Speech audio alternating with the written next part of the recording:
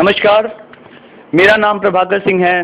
सर्वप्रथम, मैं आप सभी लोगों को धन्यवाद देना चाहूँगा कि आप लोगों ने अपना बहुमूल्य समय आइडियल के इस प्रांगण में दिया।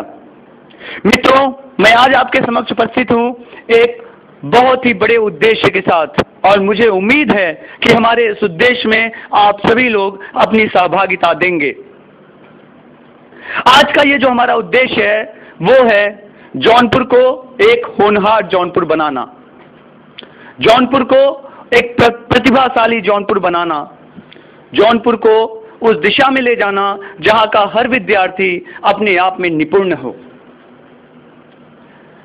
आज मैं आपको बताना चाहूँगा कि हमारे शहर की जो स्थिति है, वो बहुत ही बदतर हो चली है। हमें लगता है कि हम शिक्षा लेते हैं, वो हमारे भविष्य को बनाती है।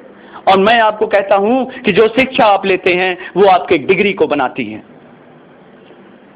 शिक्षा जिससे हमारा व्यक्तित्व नहीं डिग्री बने, वो शिक्षा हमारे लिए किसी काम की नहीं है। मित्रों, मैं आपको बताना चाहूँगा कि जो सबसे महत्वपूर्ण चीज़ आज के इस युग में है, वो है कार्य करने की क्षमता। कार्य कुशलता भविष्य में अपने आप को उस रूप में ढालने की क्षमता जिससे पूरी दुनिया हमारी पहचान को समझे। आज जो शिक्षा हम ले रहे हैं उससे न हमारे अंदर कोई गुणों का विकास हो रहा है, न हमारे अंदर किसी क्षमता का विकास हो रहा है, न हमारी सोच का विकास हो रहा है, न हमारी समझ का विकास हो रहा है। विकास हो रहा है तो सिर्फ़ एक चीज़ का, वो है डिग्री का। आज के इस जौनपुर को बदलने की आवश्यकता है। आज जो हमारे समाज में तमाम प्रकार की एक विकृति बैठ चुकी है, उसको हटाने की आवश्यकता है। आज हमारे यहाँ के लोगों को लगता है कि हमारा लड़का, हमारी लड़की स्कूल जा रहा है तो पढ़ रहा है। मैं आपको बताना चाहूँगा कि आज शिक्षा का स्तर पूरी तरीके से अपने पतन के मार्ग पे है। आज जो व्यक्ति ज्ञान लेने जा रहा है, उसको खुद नहीं पता कि उस ज्ञान का वो इस्तेमाल कहाँ करेगा।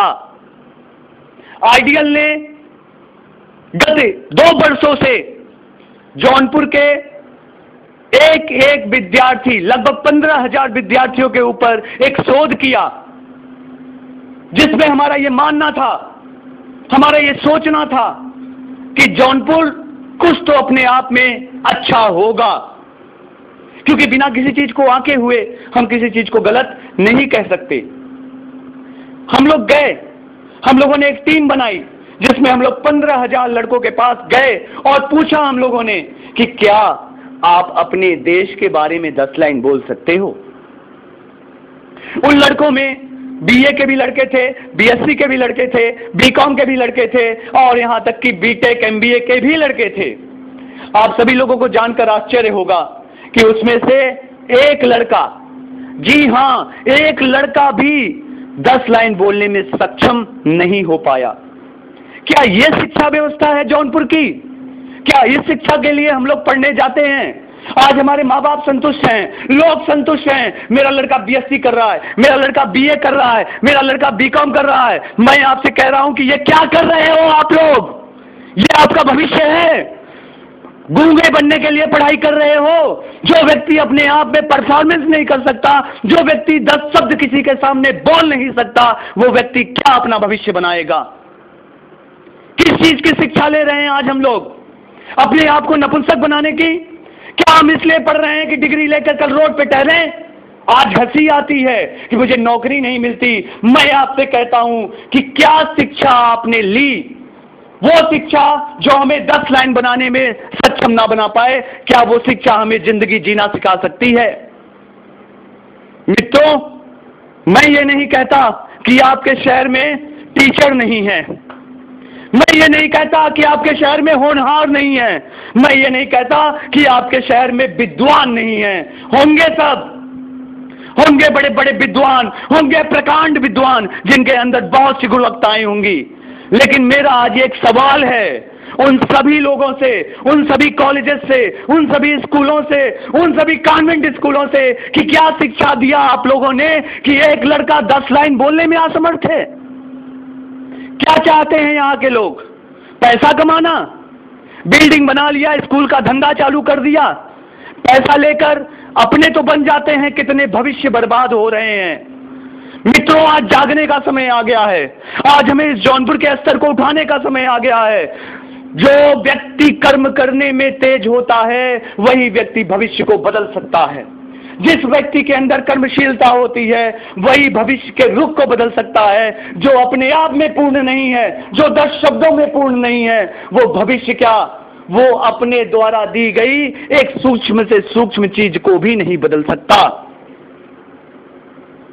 आज के इस परिस्थिति में ज़रूरत है आज सभी लोगों को आगे आने की। एक माता पिता जो दो वक्त की रोटी नहीं कमा सकता, अपनी रोटी मारकर अपने लड़कों को पढ़ने भेजता है।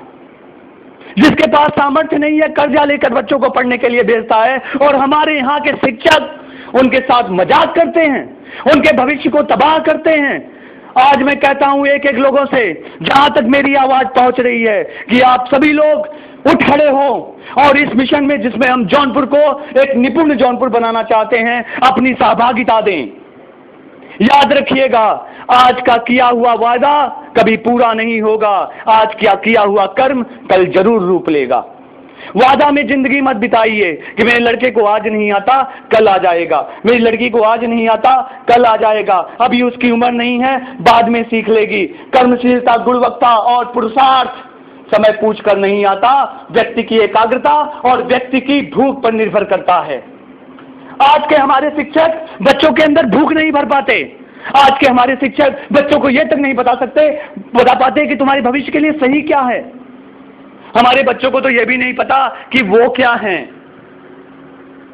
आप लोग को ताज्जुब होगा जान के कि हमारे शहर के ज़्यादातर नौजवानों को यह भी नहीं पता कि वो क्या है।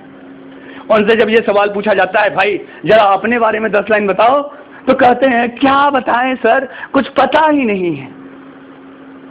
क्या यह भविष्य है? क्षमता नहीं, सफलता की बात होती है।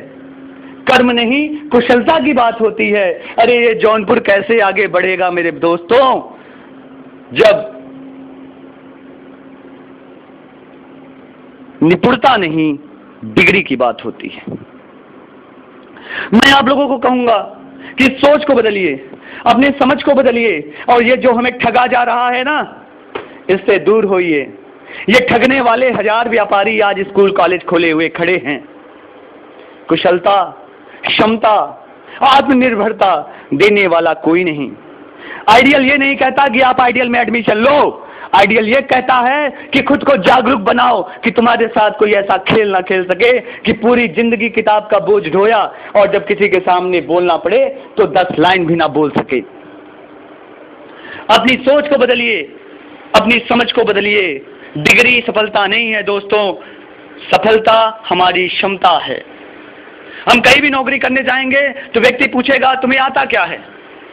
हम कहीं भी नौकरी करने जाएँगे, व्यक्ति पूछेगा, तुम्हारे हाथों में हुनर क्या है? आज के इस प्रतिस्पर्धिक युग में सफलता क्षमता और कर्मशीलता पर निर्भर करती है। सफलता हुनर और प्रतिभा पर निर्भर करती है। सफलता किसी डिग्री और कागज़ पर निर्भर नहीं करती। और इसलिए मैं कहना चाहता हूँ कि सफलता सिर्फ़ उसकी होती है जो सफलता की क्षमता अपने अंदर रखता है। सफलता की अपनी एक कीमत होती है, जिसके अंदर पुरुषार्थ होता है, सफलता उसके साथ होती है, और जिसके अंदर सिर्फ़ और सिर्फ़ एक डिग्री होती है, उसके साथ कोई व्यक्ति नहीं होता। आज धन के लालच में आज सैलरी के लालच में, आज समाज के झूठे प्रतिष्ठा के लालच में लोग हमारे बच्चों को आगे नहीं बढ़ने दे रहे हैं। कोई ग्रामीणांचल का रहता है, हमारे यहाँ भी बहुत से बच्चे आते हैं पढ़ने। कोई ग्रामीणांचल का रहता है, एक लड़का जब अपने जीवन को बनाने के लिए किसी अच्छी सोच के साथ आगे बढ़ता है तो कह देता है, तुरंत पूछता है, ये कहाँ जा रहे हो अच्छी चीज़ करने? जैसे लगता है कि यह एक अपराध है।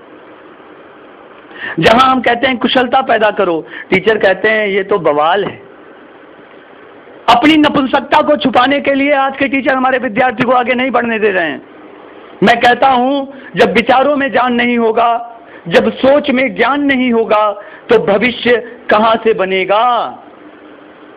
आपको तो आज के परिवेश को समझते हुए अपने आप को ढालने की आवश्यकता है। लोग आपको छल रहे हैं और आप छले जा रहे हैं। लोग आपको लूट रहे हैं और आप लूटे जा रहे हैं। लोग आपके सपनों का मज़ाक उड़ाते हैं और आप उड़वाते जा रहे हैं। और कहते क्या हैं? मुझे डॉक्टर बनना है, मुझे इंजीनियर बनना है, मुझे आई बनना है, मुझे सी बनना है। हकीकत में जब कोई पूछता है, कैसे? कैसे बनेंगे आप? यकीन मानिए, जैसे लगता है कि व्यक्ति शर्म से पानी पानी हो गया है। आप लोगों की कंडीशन ऐसे ही हो जाती है। क्या आप चाहते हैं कि आपका जौनपुर एक पिछड़ा जौनपुर रहे? क्या आप चाहते हैं कि आपके जौनपुर को एक नीची नज़र से देखा जाए? क्या आप चाहते हैं कि आपके जौनपुर के ऊपर सभी लोग व्यंगात्मक तरीके से हंसे? क्या आप चाहते हैं कि हमारे यहाँ प्रतिभा की हत्या डेली की जाए? क्या आप चाहते हैं कि आना, आने वाला जौनपुर का भविष्य अंधिकार में बीते? क्या आप चाहते हैं कि जौनपुर का विकास जौनपुर के विद्यार्थियों के द्वारा ना हो, बाहर के बुलाए हुए कॉन्टैक्ट बेस्ड लोगों के द्वारा हो। क्या आप चाहते हैं कि जब कोई बाहरी व्यक्ति हमारे शहर में आए तो हमारा मज़ाक उड़ाए, हंसे और थूके चला जाए? अगर आप ऐसा नहीं चाहते हैं तो मैं आपको कहूँगा कि ये जो एक मिशन आइडियल ने चलाया है, जौनपुर को स्किल जौनपुर बनाने का, इसमें आप सभी लोग घर से निकलें। आइडियल के साथ आए और जौनपुर को बदलने की इस मुहिम में अपना साथ दें। हम चाहते हैं कि एक एक विद्यार्थी अपने आप में होनहार हो। हम चाहते हैं कि एक एक विद्यार्थी अपने दिशा, दशा को पहचाने। हम चाहते हैं एक एक विद्यार्थी इस चीज़ का संज्ञान रखे कि सफलता उसे कैसे मिलेगी। हम चाहते हैं एक एक विद्यार्थी ये जाने कि उसके साथ हो क्या रहा है। हम चाहते हैं कि एक एक विद्यार्थी को यह पता रहे कि उसका कल क्या है और इसके लिए बहुत ज़रूरी है कि विद्यार्थी को सही दिशा में ले जाया जाए। इसलिए मैं आप सभी लोगों से यह विनम्र निवेदन कहता हूँ कि जो आइडियल का या मिशन है जौनपुर को एक स्किल जौनपुर बनाने का, इसमें आप सभी लोग अपनी सहभागिता दें, अपना योगदान दें, ताकि हम अपने इस मिशन में सफल हो पाए। ये मिशन सिर्फ़ आइडियल का नहीं है। ये मिशन सिर्फ़ प्रभाकर सिंह का नहीं है। ये मिशन चंद लोगों का नहीं है। ये मिशन इस जौनपुर का है। कितने दिन हम सहते रहेंगे ऐसी बातें? कितने दिन? कितने दिन लोग हम पे हँसते रहेंगे? आज वक्त है हमें खुद को बदलने का। आज वक्त है हमें खुद को उस शिखर पर ले जाने का, जहाँ सफलता की बात अगर हो तो जौनपुर पहले आए।